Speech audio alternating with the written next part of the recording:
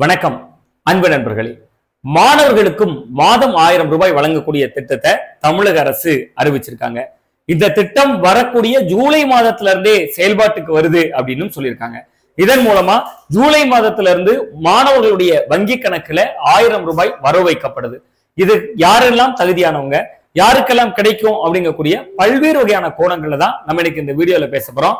வாங்க நம்ம வீடியோக்குள்ளே போயிடலாம்.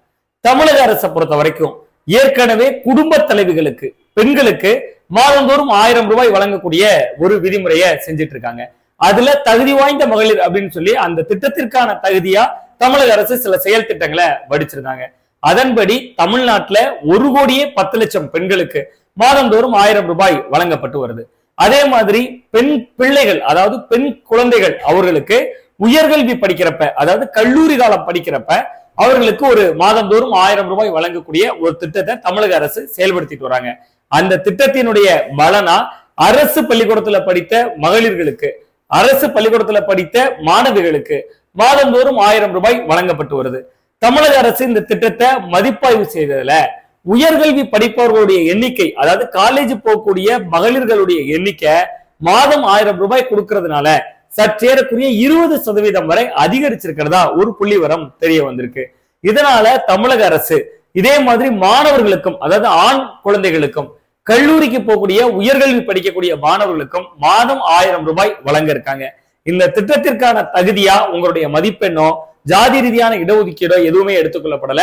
ஒரே ஒரு விஷயத்த தமிழக அரசு எடுத்திருக்காங்க. அந்த மாணவர் அரசு பள்ளியில படித்து விட்டு கல்லூரி நிலைக்கு சென்றவரா இருக்கணும்.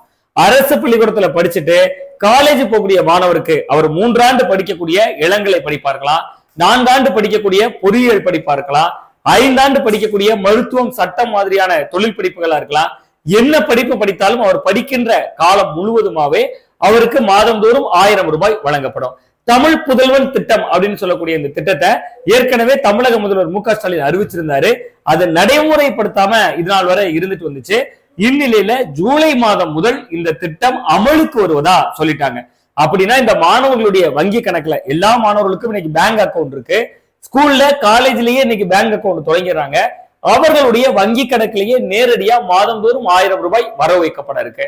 இவங்க அரசு கல்லூரியில தான் படிக்கிறாங்க அப்படிங்கிறது கிடையாது.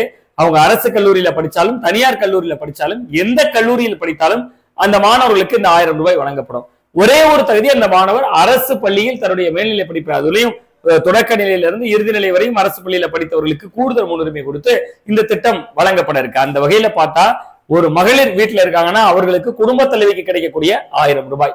அதே வீட்டுல ஒரு பெண் குழந்தை இருக்கு பெண் பிள்ளை கல்லூரி படிக்குதுன்னா அதற்கு மகளிர் திட்டத்தின் கீழே அந்த பெண் குழந்தைக்கான கல்வி திட்டத்தின் கீழே பெண்களுக்கு ஆயிரம் ரூபாய் கிடைக்கக்கூடிய திட்டத்தை தவிர்த்து கல்லூரிக்கு செல்லக்கூடிய அரசு பள்ளியில படித்த பெண் குழந்தை திட்டத்துல ஒரு ஆயிரம் ரூபாய். ஆண் பிள்ளை இருக்கிறாங்கன்னா அவர்களுக்கு ஒரு ஆயிரம் ரூபாய்னு ஒரு குடும்பத்திற்கு நேரடியாக மூவாயிரம் ரூபாய் வங்கி கணக்குல வர வைக்கப்படுறதுக்கான ஒரு வாய்ப்பும் இதன் மூலம் எழுந்திருக்கு. இந்த திட்டங்களை பத்தி நீங்க என்ன நினைக்கிறீங்கன்னு மறக்காம கமெண்ட் பாக்ஸ்ல கமெண்ட் பண்ணுங்க. மீண்டும் ஒரு நல்ல தகவலோடு உங்களை சந்திக்கின்றேன். நான் உங்கள் சுவாமிநாதன் ஊடகவியலாளர்.